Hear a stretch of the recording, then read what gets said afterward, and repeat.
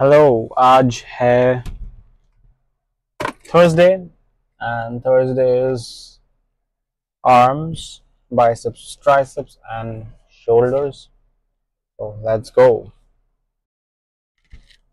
थोड़ा सा माइग्रेन भी हो रहा है तो this bigger dose of caffeine will help with that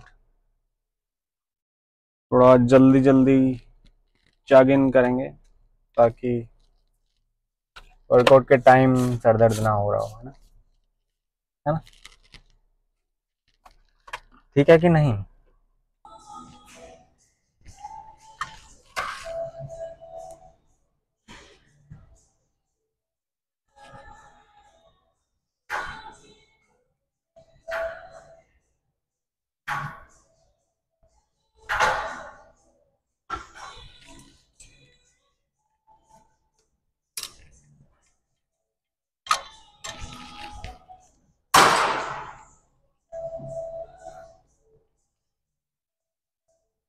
嗯。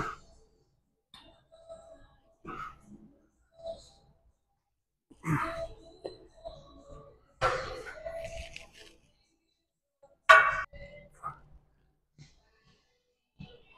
嗯。嗯。嗯。嗯。嗯。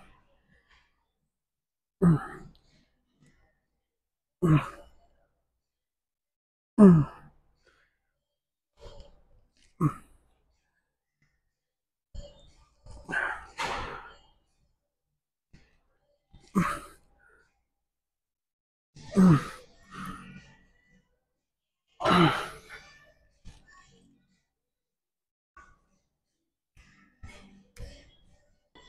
dumbbell curl में क्या इशू है कि जब आपका मसल सबसे ज़्यादा लेंथनड होता है।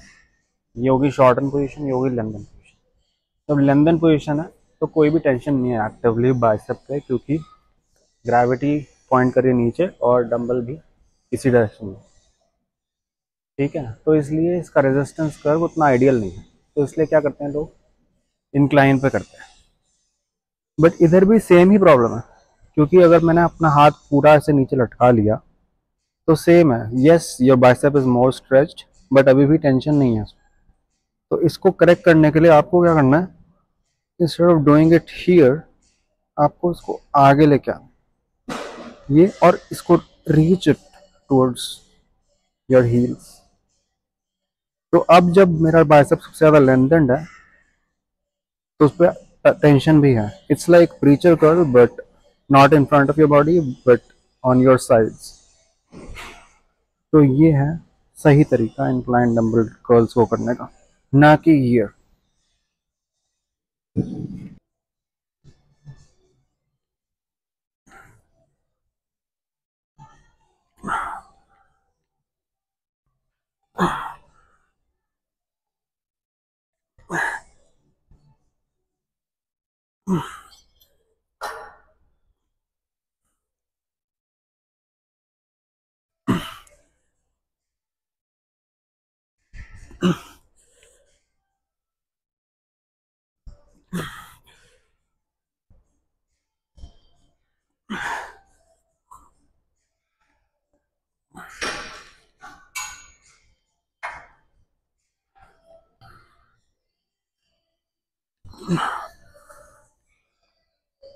Mm-hmm.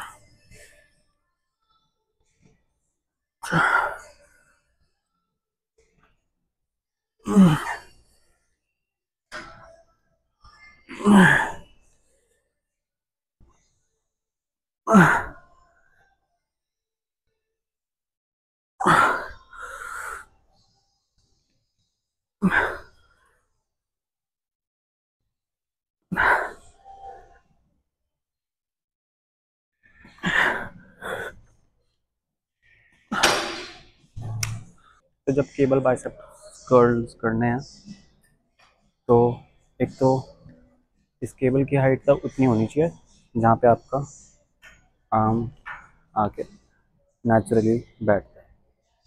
तो ये ले ली। अब इसको पीछे से नहीं करना, क्योंकि अभी क्या है कि जो फोर्स है लाइन ऑफ़ फोर्स वो आपके आर्म के साथ हो रहा है तो there is no active tension on the bicep इसको यहाँ से करना।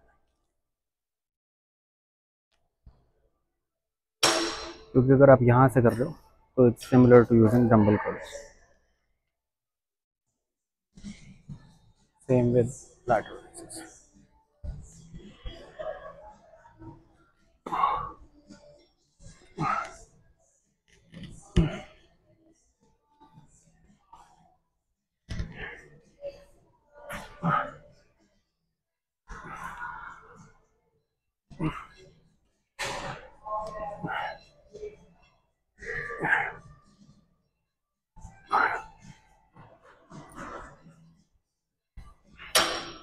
इधर क्या है कि लेंदन हो रहा है, आपका डेड और फोर्स इस तरफ़ है तो इट्स ऑलमोस्ट परपेंडिकुलर अगर डंबल से करते हो तो यहाँ पे सबसे ज़्यादा डिफ़िकल्ट होता है।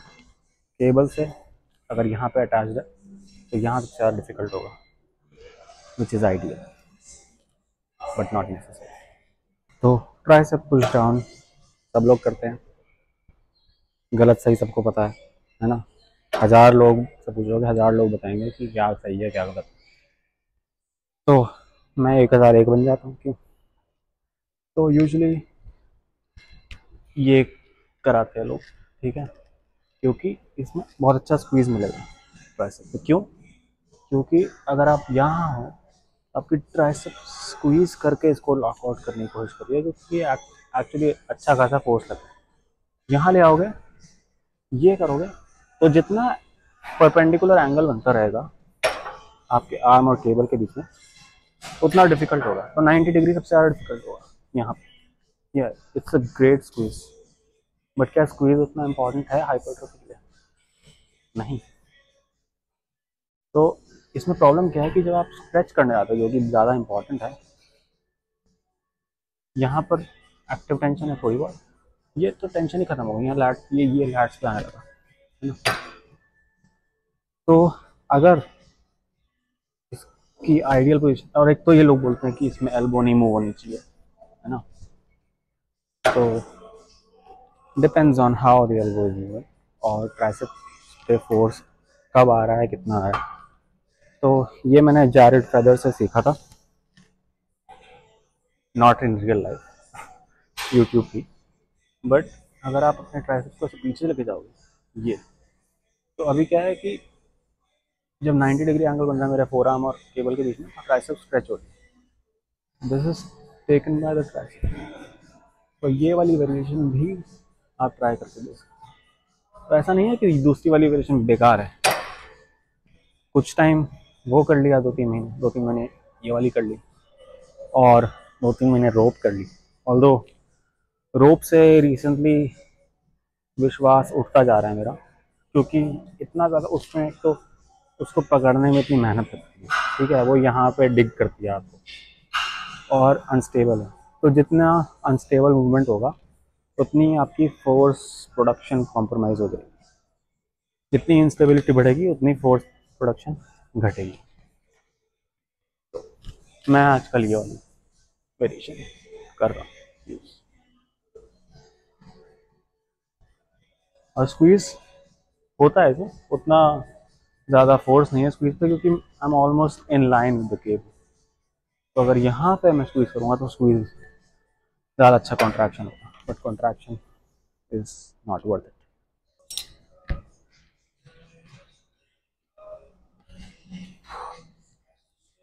हाँ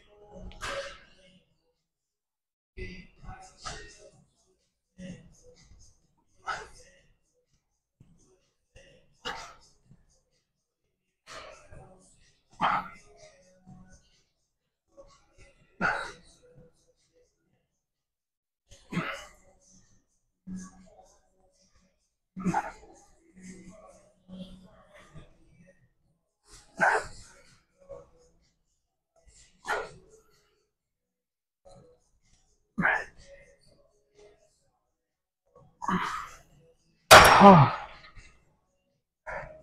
नोटिस किया होगा मैंने आखिरी के कुछ रफ में फुल लॉकआउट स्किप कर दिया। To be able to get more of the reps and the stretch position तो अगर मैं लॉग आउट करता तो मेरे दो तीन एक्स्ट्रा जो स्ट्रेच वाले रेप्स होते हैं वो कट जाते हैं। क्योंकि मेरी एनर्जी लॉकआउट में वेस्ट हो जाती है।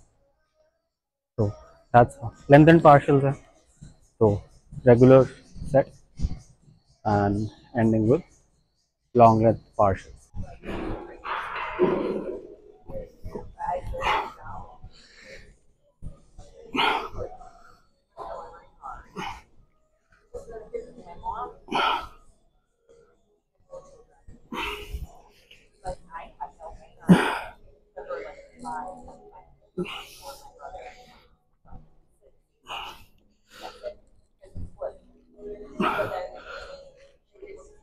Mm.